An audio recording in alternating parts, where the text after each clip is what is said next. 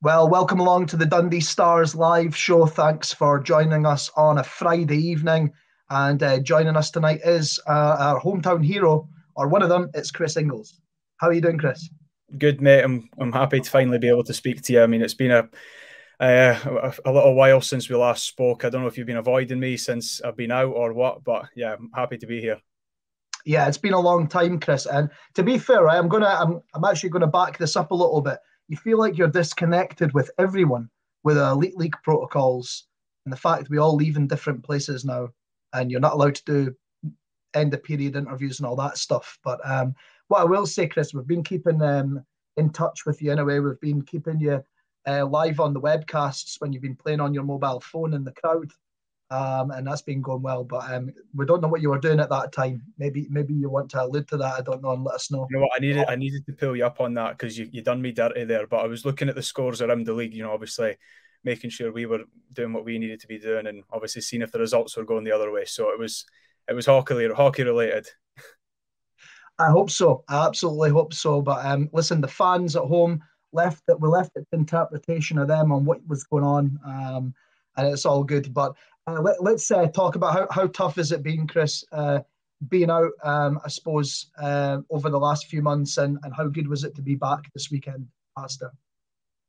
Yeah, it was brilliant to be back. I mean, um, uh, unfortunately, this has been the second season now where um, I've had, you know, kind of a longer injury, um, and they're, they're never they're never fun. You know, I mean, you always kind of hope to be back you know, as soon as possible. But you know, with things like this, when I obviously, you know, yourself, I done my knee, um, you know, you need to make sure you recover 100% with those. And um, it was difficult because I, I mean, the first part of you know the time that I was out, the the team were doing really well. You know, leading up until middle of December before we had um, you know the, you know 20 days or so layoff with um, isolation and protocols and things like that.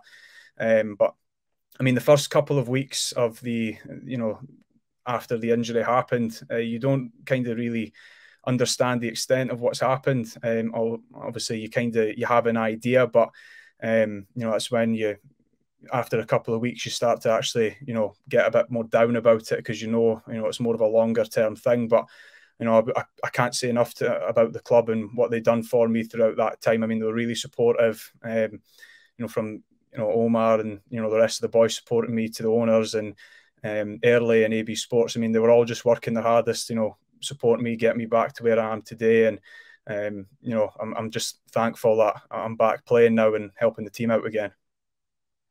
Is it interesting you, you mentioned that that you were you, you were still feeling good in that that position because as we hear commonly in football in, in the UK when a player's injured in some cases um, they're not involved with the team they feel very disconnected and that's also a frustrating thing um, I mean what kind of stuff did uh, Omar give you to do to keep you kind of connected with everyone, Kris?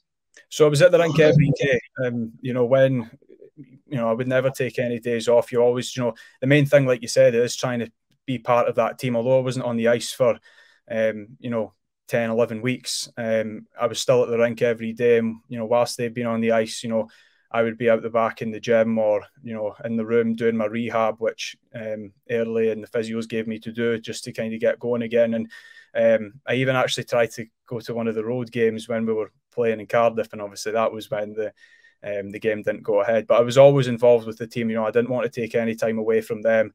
Um, not being on the ice with them for that length of time is bad enough as it is, and you know, you know, they're like brothers to me on that team. So I would love to see them every day, and I made sure I did. Yeah, I mean, and uh, you mentioned earlier there and and AB Sports. Just uh, what kind of stuff did, did they get you doing to get you back to the fitness and I mean, we, we must give it credit because it looked like you hadn't been away last weekend when, when you were there. But yeah, what what did they do?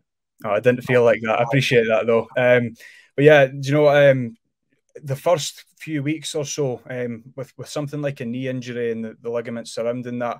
Um, the first, you know, I think maybe three, four weeks, I, I was having real trouble walking. Um, so there's not much you can kind of do in that that first part of you know your recovery. It's just kind of trying to stay positive, you know, however difficult that may be. Um, and then obviously once I was kind of starting to get a bit more mobile, um, you know, early started getting me moving it again because um, after that length of time, it'll start to get a little bit stiff and you know just not moving the way that it used to be. So um, she she wrote up a, a, a rehabilitation plan for me. Um, you know, just things to actually get the the leg kind of slowly starting to strengthen it up. And it's just a case of taking that week by week. You know, you can't just jump straight into lifting the weights again, but more so getting on the bike and, um, you know, even just starting to strengthen all those smaller muscles around that just to, you know, get back where I am. But no, she was brilliant with me. Everything that she done was personally catered to me. And uh, like I said, it, it got me back to feeling, you know, 100% now. And although I didn't really feel it in, in the game last weekend, you know, it's a step by step process. I'll take it game by game, but I'm, I'm getting back to where I, you know I need to be. Yeah, I mean, it was a it's an incredible amount of effort, and I, I suppose that people maybe don't appreciate the amount of stuff Early does off the ice for yourself and and all the players um, during the season. It is a, a, sport where people continuously get injured and and have uh, those kind of things to carry. And I suppose having that kind of service and uh, support around you really, really helps. Definitely, no, she's brilliant with us like that. I don't think we've actually had a full roster yet this season, unfortunately. But um, you know, she's working round the clock with all of the boys, whether that be in the rink or down at our clinic, and you know, all the boys are the same. They're putting in all the effort they can just to make sure we're maintaining our bodies and um, making sure we're ready to go every weekend. So hopefully, in the you know the, the next few days, coming weeks, we'll, we'll get back to a full roster and you know really make a push up that table because you know we can't be content with what we've done so far. Although we're um, you know sitting pretty good just now. Um, we know the potential in this team. It's not it's not a case of getting that top eight. I mean, I would I would see that as a bit of a failure this year. We want to be as high up that table as possible, and you know, pushing towards that top half. Yeah, hundred percent. And I think that was great. We heard that from the guys we spoke to last week, and I think fans really, really like that. For for years, I think the Dundee Stars have always been. There was a time when we were always referred to as we're a small team. We're, we're, we're hoping to make the playoffs, all this stuff. And to hear the guys last week and yourself there say it's not a case of trying to go for eighth here. We're, we're, we're reaching for the limit, you know, because um, we know we've got a good team. Um, if we can get everybody together or just enough people together to um, to, to, to put those performances in. I think that was um, really positive last week, and I know a lot of fans were buzzing after that. Um, but talking of buzzing, um, how good was it to be in the Dundee Ice Arena and have the place absolutely packed, Kris, um, uh, on uh, well last weekend? Unbelievable, mate. Yeah, really, such a good thing to see. I mean, I, I was kind of lucky enough for myself because I mean, the only kind of positive that I suppose I could take from um, the time that um, I was injured, I know we didn't have any uh, full arenas for you know a good few games anyway, um, and, and um, to see all them back and for it to be my first game.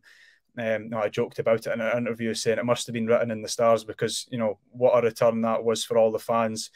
Um, you know, it was a, not the result we wanted, but um, you know, it was an entertaining game, and you know, I've never heard a crowd like that in a long time for that game. You know, so um, I just hope they keep coming out with numbers because I mean, what a buzz it was playing in that game. Yeah, it's it's mad because if you look back years ago when you you were probably first in the Stars team, the numbers were increasing and that kind of stuff. But I think um, this season especially, um, that game is up there with the first game back after the 18 months. And I'd actually say in some ways the game last weekend was slightly better because it, uh, the atmosphere was just it was electric at the start of that game. I mean, you could just feel the adrenaline everywhere uh, in that first period, especially. Definitely, yeah. No, it, it, trickled down into the team as well. Obviously, we we thrive on that support that the crowd give us every game and every shift. So, um, like you said, I mean, what a buzz that was. You know, comparing that to the start of the season, you know, it was just I could I could feel that all the fans were, you know, over the moon to be back in that rink, and you know, we were even happier to have them back there because they really do make the difference for us. So. Um, like I said, I just hope they keep coming to push us on because we're going to need it coming down the stretch here. But you know we've got the best fans in the league, and you know I can't wait to see them again this weekend. Yeah, I mean, you, you, and you mention it there. It is. I know people use that gesture, the best fans in the league, but our fans really are the best fans in the league. I mean, uh, for the uh, that frustrating period over Christmas where there was the isolation. Of course, there was a situation where season ticket holders couldn't get in at, at that particular time to see games, but again, they still came back and supported um, buying tickets. They, they came back buying 50 50s, shirt off the bat tickets. I mean, it really is like a, it's felt more like a family now than it ever has done, I suppose, um, uh, although it's been a difficult time. Definitely, no. We're all in this together. It's not just us on the ice that are, you know, trying to make a, a push and you know grow this club alone. That, that that's a big goal for us to make this club, you know, as successful as it can be. But I mean, even the, the fans, they're just they're, they're fantastic. I mean, they are really pushing this club and um, you know, the support, like you said, I, I even meant, I seen that, you know, with the 50 50s, how much they were going and all the jersey auctions and stuff like that. I mean, everyone really is buying into, you know, making this club as successful as it can be. Um, and like you said, from when I was, you know, first first involved with this team, and even when I used to watch them, you know, as a younger kid, you know, the the growth and the you know the buzz around this team, it's getting it's getting better and better year on year, and I'm, I'm confident that's just going to keep going because you know the hockey's getting better and you know we're really trying to make something special here. Yeah, let, us talk about when you're. Um, I know we touched on it last year briefly when you came on the the Dundee Stars live show when we had no hockey um, to, to watch. But let, us talk about when you were a, a kid and in those days. So when did you first think to yourself, Kris, I want to be an actual ice hockey player and I'd love to play? Um, yeah, when did you have that ambition to play like elite league level ice hockey? So, I mean, I started playing hockey around eight, nine years old. I mean, I skated a little bit earlier than that. Um, and I just, I loved the sport since I started playing. Um, and I mean, at that age, I mean, um, you just love playing. It's not kind of, you don't think about things like that, about what you're going to do when you're older. You just kind of think, I would love to be, you know, playing at a good level. And then, um, as I started getting older, and obviously I played with the Dundee Juniors, you know, all of my, my junior career and, you know, up through to the SNL and obviously breaking into the stars. And it was only maybe once I got towards the latter end of latter end of high school, um, and I kind of had that opportunity. I was playing up with the SNL at you know a younger age, um, and then obviously when Mark Lefebvre came in back then, um, I got the opportunity to actually start practicing with that team. So I would say it was, you know, middle of high school, you know, um, 14, 15 years old when I, I kind of started to realise I know, had a bit of potential here. And, um, you know, it was a head down from there. I was working hard and putting in as much effort as I can to actually, you know, get the best out of myself and, you know, push towards that goal to actually finally make it and try and play for this team. And, you know, even the progression I've had since I first started being involved with the team at, you know, 18 years old to now, um, you know you just got to keep working to actually you know bring the best out of yourself that you can. But yeah, I'm, I'm just loving playing here at the moment, and yeah, it's the best. Yeah, it's it's good you say that about you got your head down and started working. I think um, there's always this um, perception and from hockey fans that well British players don't get a chance or or or they'll never make it or, or that kind of stuff and there's a lot of focus on the the uh, the other guys. I should say homegrown players. Sorry for elite league terms. But um, if you look at guys, say, I, I, remember even covering this with Jeff Hutchins in an interview once. He said, if if a British player or, or, or a Brit wants to play ice hockey in the elite league, they need to get their head down. They need to listen, and they need, need to be at training. They need to turn up to all these things. And it is a slow progress and or a slow development, but you will get there in the end if you're good enough. And I, I mean, for you as one of those younger players at the time, certainly going back to maybe 12, 13, 14 um, season kind of period where I suppose even Britt's only one you really would have probably thought about, or the two, I suppose, in the Dundee Stars would have been McCluskey and Dolan. I mean, did you look up to those guys and think, I want to be that that player when when I get my chance? Yeah, of course. I mean, they were you know legends at the club when I was when I was younger, and like I said, when I used to go and watch them as a kid and seeing that they were out on the ice, and uh, you know, you always kind of aspire to be that. But I'm a big believer in hard work beats talent. You know what I mean? So, um, I, I mean, I mean, I do agree. I mean, there is there probably can be a little bit more of a chance for British players in this league, but on the same you know train of thought, they they do need to obviously put in that work and want to be there you can't get anything given to you, and especially with how good this league it has become um, and the progress it's made over the last few years. Um, you know, nobody's going to get anything for free. I mean, I know I certainly didn't. You need to put in the work and you know have that hunger to actually you know try and make it and get your chance. And um, you're, you're never your job's never safe. I mean, you've always want to you know get better. And I mean, I, I think I've established myself as um, you know a, a defenseman in this team. Um, but like I said, you, your job's never safe. You've always want to get better and you know push yourself to you know put on the best performances and you know be the best person you can be for that team. So it is all about you know, like I said, hard work beats talent. You've got to want to be there, and um, you know if you put in 100 percent effort, I mean you will get the rewards. I, I believe in that.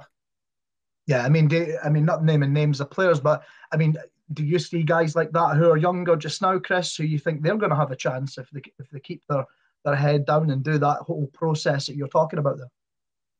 Of course, I mean we had um, young Drew Rumgay was on with us towards the start of the year, and I mean what a start he had. I mean it was unfortunate he had a you know a, a pretty tough injury back there, um, and you know I felt for him because I mean I've been through injuries myself, and um, you know they're never fun and knocks your confidence more than anything. I would say. I mean having something like that happening, but he he'll he'll be a good talent. I mean I'm confident he'll you know be playing in this team and you know however many years or in the near future, and even at the moment we've got. Um, young Bernard Brown. Um, he's been practicing with us, and I love his work ethic. He's on with us every day. Uh, really puts in the work and wants to be there. So there, there's definitely a few younger lads that are, are coming through the ranks and you know making a push for that team. And like I said, no nobody's job's safe, including mine. So you've got to obviously push yourself because the very next person to snap your hand off to get that chance. But I, am confident, you know. The, the standard, the, the young lads coming through the, the junior program here in Dundee. I mean, we're going to have a good bit of talent for the next few years. Yeah, it's good to hear. And I suppose um, when you came into the team um, under Mark Lefebvre, which we'll get into in a minute, um, you, you, would have seen players like Craig Moore at the time who um, had an opportunity at Dundee and he jumped on it, didn't he? I mean, he became a vital part of Mark Lefebvre's team in, in that time. Oh, definitely. No, and again, this goes back to what I say about um, hard work. I mean, uh, when I was first involved with that team, when Mark was there, um, was a, a really hard-working defenseman, um, and you know doesn't he get anything handed to him for free. He really does work hard, and that's how he's established himself in this league. Um, you know, got that opportunity in Cardiff, and um, you know it was a shame about his injury. Um, but obviously he's he's back now, and he's playing some of the best hockey I've seen him playing. Um, obviously, I'm a couple of years younger than him, but even when I was involved back then, and Craig was there, um, you know, he was a good good help with me, um, you know, helped me with my confidence, and he was always giving me some tips as well. So I'm, I'm happy to be playing with with Craig now, and obviously we can we can bounce off each other and do well for this team. Yeah, that, well, I'm just glad you all survived that terrible year. We had to do the uh, the NHL PlayStation tournament in the bar every Sunday, uh, Kris. That was that was my worst nightmare, and still to this day, the worst thing I had to participate in in, in the in terms of being with the Dundee Stars. That was brutal. Bringing a PlayStation every week to, to games. I'm glad I, am glad I'm, like, absolutely murdered at NHL, so I'm, I'm glad I didn't get a game. But I remember that. No, it was it was good times. No for you though.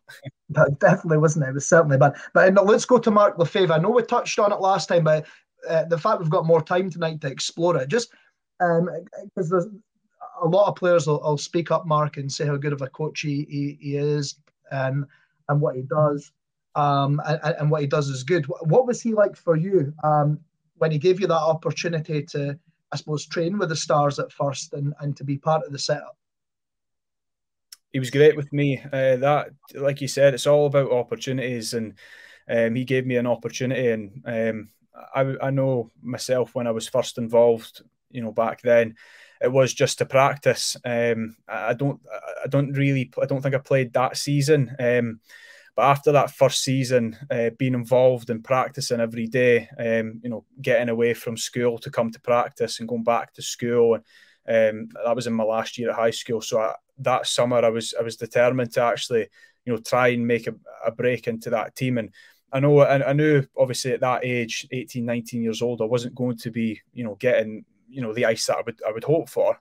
Um, but that, that that drove me to you know push myself and try and improve myself, you know, during practice to, to get that chance. And he was great with me. I mean, even if it was giving me a chance to, to get on the ice, albeit playing forward, um, it, it, definitely improves your game, um, getting that experience being on the ice. So, um, no, it was good. I, I, do all to Mark for that, you know, the chance he gave me and the opportunity and just, you know, to prove myself to that I was ready to, you know, start trying to make an impact in this league. So, yeah, can't can't say enough about Mark. Uh, don't, don't get into the forward thing. That's a controversial one with the fans. Uh, I don't think they were happy about that all the time at the time. But uh, yeah, no. Was, just happy to be playing, Stephen. That was all. Listen, you got you got in the team, right? That, but again, goes back to what you were saying, uh, Kris. Take the opportunity. It doesn't yeah. matter if, if you if you get offered to play in any sport, I suppose, or if anything, you get offered to be part of it. Go wherever you, you're offered and, and make your make your mark in some way. You know, I suppose that's what you did. What who was the guys even from the season that you didn't actually play, uh, Kris? Who who were the guys from that season who were really kind of um, influential on you, or did take their time to really to work with you? So that first year, I um, one guy that I really liked, you know, to watch and you know see play. Um, Hartsey was there. Um, Kev Hart, he was what a guy he was, um, and even um, you know that first year there was guys like Curtis Leinweber, um, you know Riley Wetmore, experienced guys, and you know they obviously seen because I, I, think back then I would have been on the ice with um, you know Benny Edmonds and we're both young guys, and you know, well, like I said, we weren't expecting much that season, but even in practice, you know, they were they were good with us, and you know, tried to push us to you know improve, and um, you know, it would take us aside on the ice, and you know, just try and teach us a few things or two. So no, they were definitely influential at the start of my career, and um, yeah, no, they were, they were really good lads back then. And then you got the the opportunity to play, maybe not in the right position for you the season after that, but you, you got your chance. Um, what what was it like playing in the, that team that um, inevitably went to the playoff weekend, Kris? Oh, what? A, yeah, I've got great memories of that year because, um, like I said, the season before I was still at high school, so I wasn't uh, kind of involved as much as I would like to be. I mean, I was turning up to practice, you know, not long before we started, and I was having to go away pretty sharp to get back to school. But that that year, um, you know, my first year at university and uh, the year after I left high school, I was really involved with that team, and I was practicing every day. And um, you know, I did start to play a, a, good few number of games that year, and you know, even if it was, you know, a couple of shifts here and there on on the wing on the fourth line, I just I loved being a part of that team, and you know, we did we did have a lot of success, you know, um, sneaking in and into the playoffs, and then having that that great, you know, battle with to, with Glasgow to make it to that final four weekend. So, yeah, what a, what a bunch of boys we had that year. It was you know quite a successful you know team and um, you know, there's I've made friends for life in that team. Still speak to a few of them, and um, yeah, I, I, was actually kind of gutted I didn't get to go to that Final Four weekend. I, I had an SNL playoff weekend that weekend, but um, yeah, no, great team and even better bunch of guys. Yeah, I mean that must be a sickener when you know that it's something so special as well because it really was from the minute the guys got. I remember going to the practice like the the day before when they were in Nottingham and complete and utter underdogs at the time as well. I mean, no one's expecting the Stars to be there, probably apart from our fans um, and and the team. And uh, yeah, you just you just felt the energy of it, everybody. And I, will never forget the the kind of scenes and moments you had with Justin Faryna and things like that. That at that time, you know, as as um, what what was he like actually? Uh, was he a, a, huge part of the uh, morale in, in that uh, that team?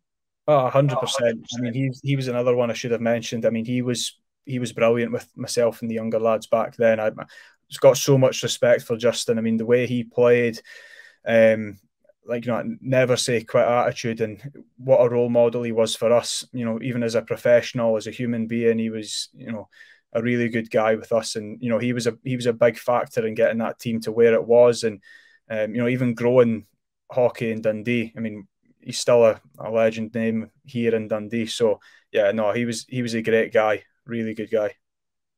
Well, thanks to everybody for joining. I thought, like I say, on a Friday night, Kris, and I was only meant to take a bit of your time, and we're not even halfway probably through what we're going to do, but we'll, we'll continue on here. So Omar Pacha comes in uh, in the 17 uh, 18 season. Um, what was it like when you first met him? I know he's your coach now, so you can't say too much, but um, what was he like at the time? No, good guy, really good guy. He's um, I think when he when he came in, um, it was the team that Mark had signed, if I remember correctly. Um, and again, I suppose you know I got to thank him for you know keeping me, you know, honouring that sign and and you know getting me in there and.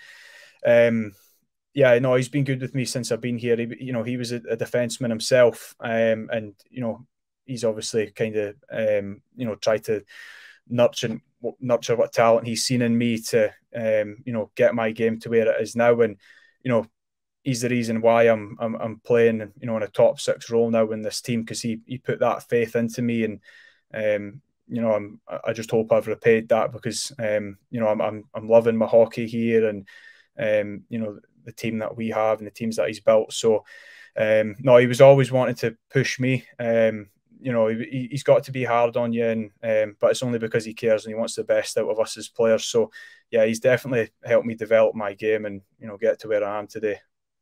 Yeah, who who's some of the guys then since he's coming? We won't go through every single season, but yeah, who, who's some of the guys? Um, brains here trying to remember everyone. right. Okay. Well, let's, uh, let's see if I can remember. Okay, so yeah, Johan Andersson would have been there at the time. Yeah, definitely. No, I was going to come to Johan. So he was another one. Um, you know, a real influence on my career, and again, not just me, the, the younger guys that we did have in the past. So um, he would actually stay on with us after practice. Um, you know, sometimes up to half an hour. You know, putting us through some drills, and um, the same as Omar, kind of just you know trying to get the best out of us. Um, and he he was a real you know factor in what kind of gave me this attitude to kind of push myself and try and be as successful as I can because you can't be satisfied with you know what you have and what you're doing. So, um, as a person, as a leader, and I was proud to have him as my captain that year. He was he was just all round great guy, and um, it's just because he cared so much. He wanted us to do well, and not just myself, the whole team. So he was, you know, a great captain, great leader, and great guy. Yeah, I remember we used to come to training to do the interviews in a, a time when everything was normal, Kris. And um, you'd never, you'd be blown away by the fact that you would see uh, Johan on the ice with you guys for another half an hour afterwards. I don't think I'd ever seen that with players, to be fair, as much as people were very supportive of uh, the younger guys. But he, he actually literally, as you said, used to take that extra time. And you can tell it wasn't just something he was doing as a token gesture. He, he genuinely loved doing it as well. Definitely, definitely. no, he, no, he, he definitely, definitely pushed my game to where it is today, and um, like you said, he just loved the game and you know loved helping others. So that's why you know I, couldn't have thought of anyone better to be captain that year, and um, you know, just yeah, really good guy. He, he, always wanted the best out of us. So yeah, I can't thank him enough for what he done with us whilst he, he was here in Dundee. Yeah, well, let's get to the here and now because I don't want to go through every single season. We could. It'd be interesting, to be fair. Um, could really turn it on its head and ask you who you didn't like every season, and you'd say nobody. Nobody, um, correct.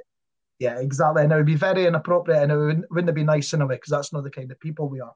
But let, let's, um, let's uh, talk about now. Um, of course, uh, you and Craig Garrigan um, really are uh, to, I mean, it's. I'm not just saying this. If you guys are doing interviews, way higher views than anybody. I don't know how. It's amazing, and and you see it, the kids come into the rink. They, they really look up to both of you. I mean, do you feel a pressure?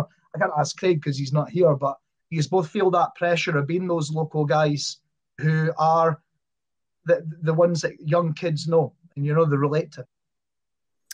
Uh, no, but it goes back to what you said earlier in this interview when when I was younger and uh, we had those you know Scottish guys in the team like Sam McCluskey and, and John Dolan. You know, I I just loved watching them because you know you you do think oh that could be me one day. So I do hope that you know these these young lads and young girls who are watching us play, um, you know they do obviously I, I, just want to obviously let them realize that it's never going to be easy and you obviously do have to work hard but um, no I, I, don't feel pressure as such because I, I just know they they obviously love watching the game and um, they, they would obviously love to be in the position that I am. So I'm, I'm grateful um, I know Craig's the same. Um, we just want to obviously do our best for this team and the club and like I said grow grow this club as, as much as we can because we were young young lads one time and we did look up to these players. So um, you know, I'm sure it's just the the circle of life. I mean, that you know, one day there'll be kids watching the young lads who are coming up now who have been watching us. So, um, just we're, we're trying to do the best, you know, with the time that we have here, um, you know, to be good role models and, um, you know, the best players that we can be for this team. Eh, this is this is like a, one honestly one of the best interviews I think we've we've done here. Really interesting stuff, Craig. Talking of yourself, though, last week we featured you as one of the featured players on the webcast, right? And Dave made the best point ever. it feels like you've been part of the Dundee Stars forever, you know.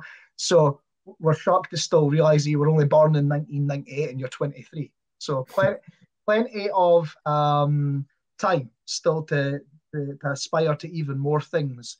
What what is what is your uh, aspirations in in hockey um, going forward? Um, are you are you looking to always strive to get in those um, uh, national teams? Is that is that one of the objectives? Of course, yeah.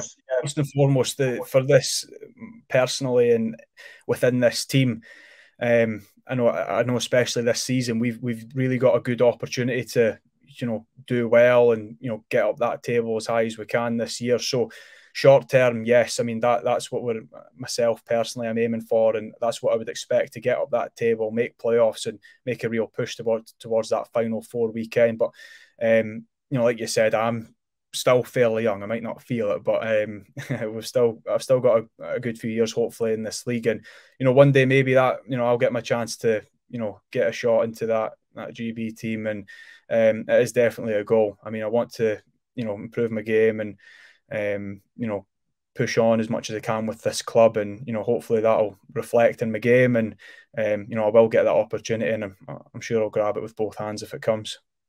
Yeah, hundred percent. I'm sure the Stars fans are rooting on for that to happen as well. You know, it's um, it's a we've got to ask you one other thing as well uh, on my list of things. How happy were you for Craig Garrigan with his goal the other week?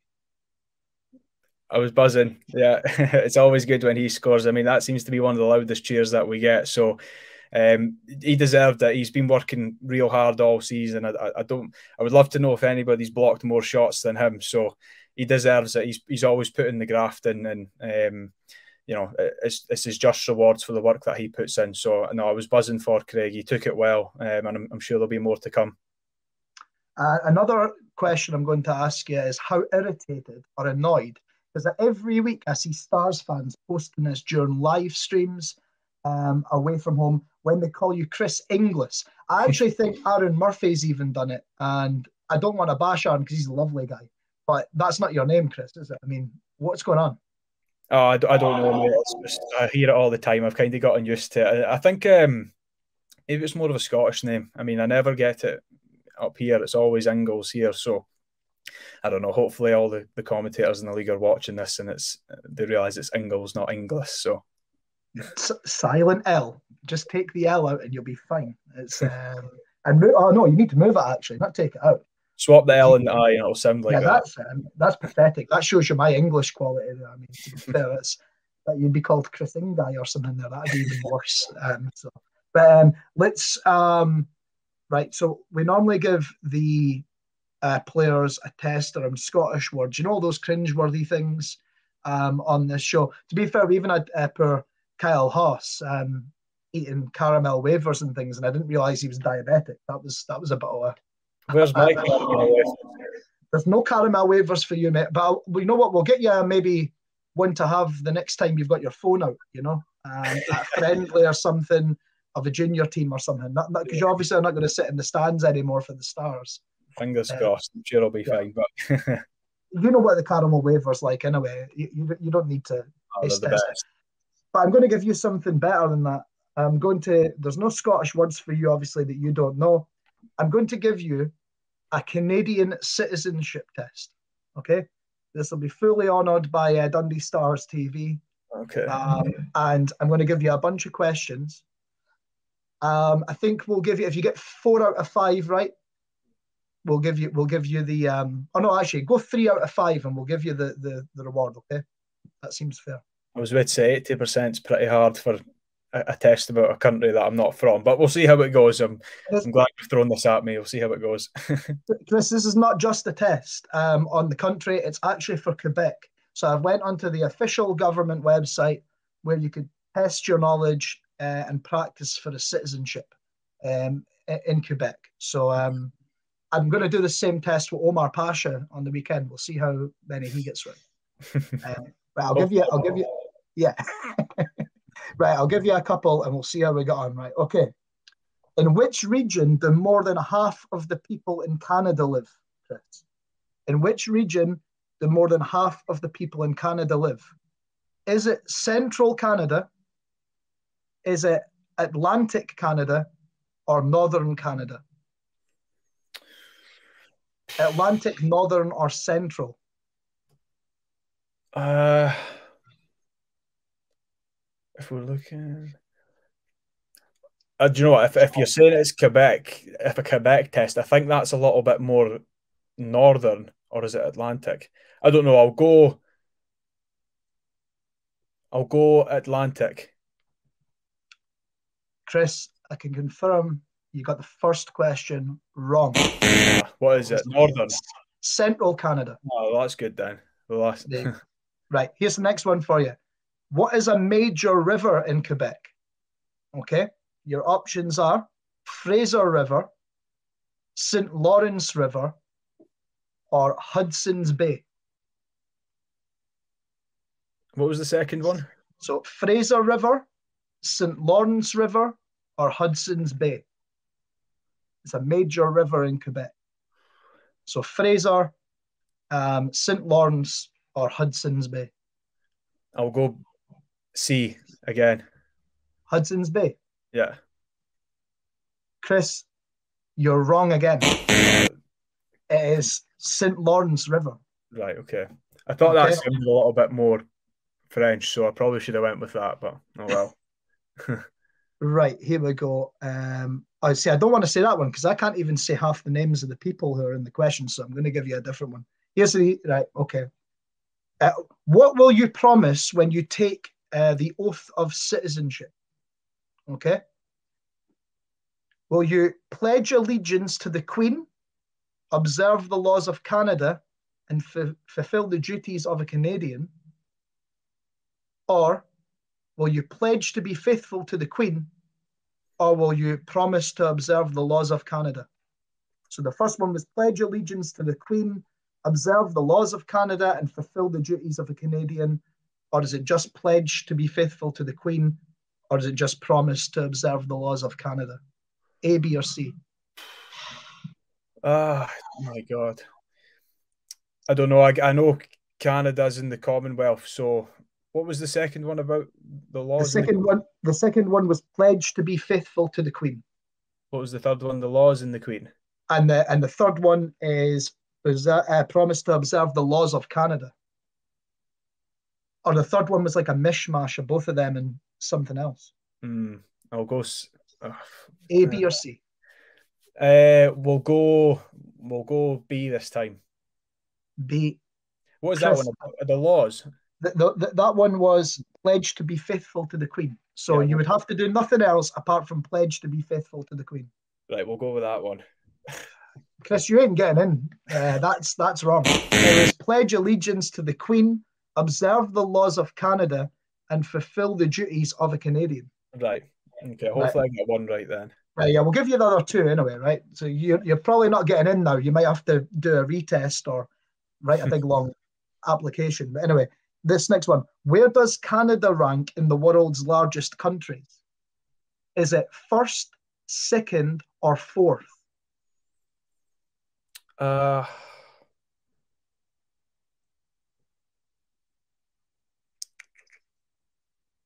I would say second. I feel like it's not as big as Russia. Um, what what's why fourth? Why have you thrown that at me? I don't know if that's like that's what it says. First, second, or fourth. That's the this is what you would get as options if you went for this hmm. test.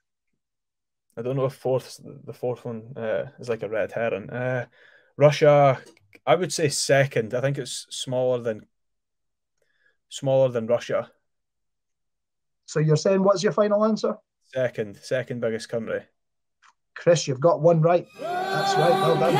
This is one your final question. Let's see if you can get two out of the five right. Okay. Name the two responsibilities of the provincial and territorial government. Okay. So name the two responsibilities. Is it citizenship and foreign policy? Is it health and education? Or is it defense and currency? So it's name the two responsibilities of the provincial and territorial government of Quebec. Mm-hmm. Is it citizenship and foreign policy, which is A? Is it B, health and education? Or is it C, defense and currency?